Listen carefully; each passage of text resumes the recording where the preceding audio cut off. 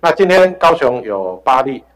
那八例里面呢，六例啊是解隔前，好，我们呃呃要因为要回家了，好，所以要解隔前要做一些裁剪，那有六例啊是解隔前的啊这个这个裁剪，好啊确诊，好，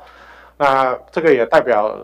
什么意思呢？这个就是代表说，我们当时在啊框列隔离的时候，我们有把我们的风险把它控制在一定的范围里面，好，那就可以啊来减少加拿大外溢到啊社区传播的风险。那我之前也跟大家报告过说，在框列隔离啊，透过疫调来进行，哦，这个在现行或是过去的一些实务上，哦。啊，这个当然能够啊，范大范围的一个框列啊，就能够啊，把可能的啊潜在的接触者啊，能够把它啊这个啊，在他还没有发病前，就先把它做框列啊。那以啊这个大寮的幼儿园为例啊，那累积到现在已经有十个小朋友啊，那啊这个确诊啊，那这十个小朋友其实大部分。还是属于啊，跟我们这个啊这个小朋友是同班，那也有同楼层的，好，那也有啊其他的啊这个这个啊其他的这个小朋友，那换句话说，当时假如说我们啊是小范围，那你就可能啊这个会有一些外溢到其他，因为小朋友一般来讲哦啊幼儿园的小朋友戴要口罩被挂掉实在是这样困难，好，那所以你这部分啊风险都还是控制在一定的。啊，范围里面啊，在社区传播的风险。那八例里面六例是啊解隔前的裁剪阳性，那另外一个就是居服员的啊这个照顾者，好，就是昨天有跟大家报告一位啊居服员他的受照顾的对象，好，那另外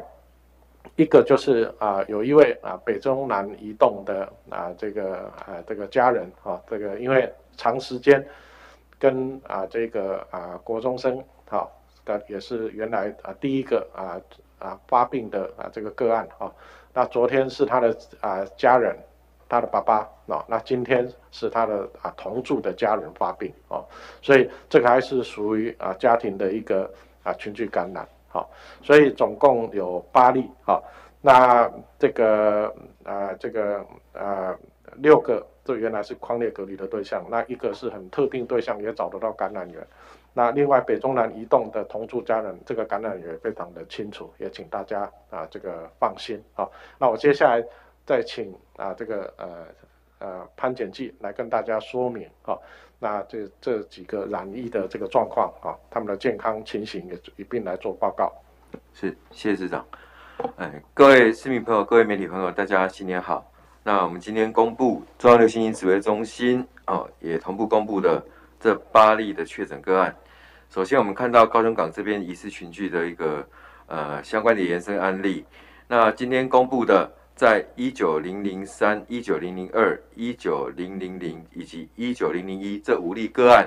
都是当时在第一波的呃确诊确诊者框列的接触者，那都是已经呃隔离将近期满，然后去裁剪呈现阳转的个案。那这个部分。啊，由于在呃可传染期的一个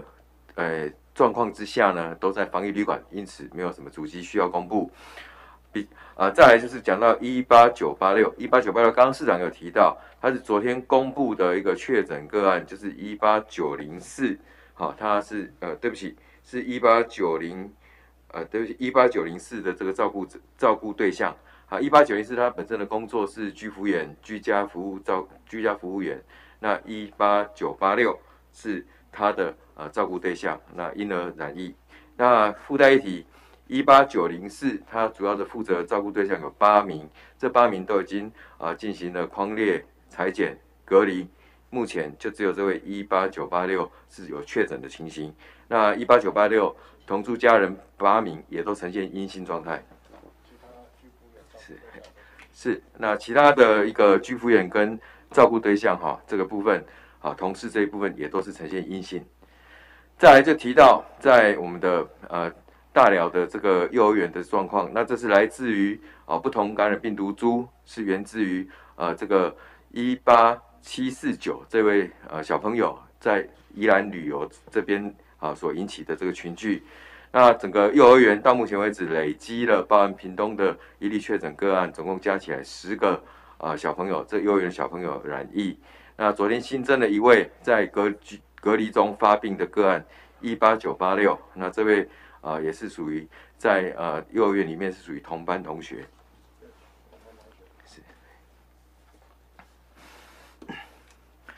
那在呃这个